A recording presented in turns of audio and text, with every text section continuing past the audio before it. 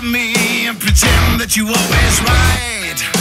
If you think, if you think it makes you feel better.